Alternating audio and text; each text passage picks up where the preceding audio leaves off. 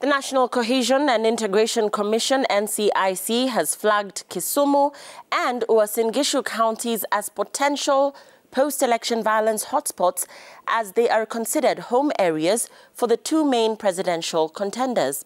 The commission said there was a high chance of either of the top presidential contenders challenging the outcome of the election.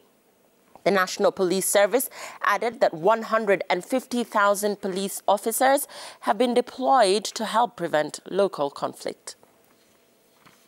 What we came out with, where we flagged uh, six, six hotspots or hotspots in six counties. Uh, immediately that was done, uh, uh, uh actions uh, were taken, and you must have followed, uh, for example, what happened in Nakuru. It's one of the hotspots that we had uh, flagged out in Mombasa, uh, in Nairobi here. And I would say that uh, there has been tremendous improvement.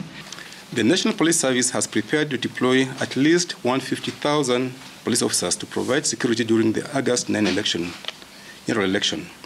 This should reassure Kenyans that their security is a top priority around this election period, and so they should not fear, but rather confidently play their role in the elections and leave everything else to the agencies charged with the security to do their part.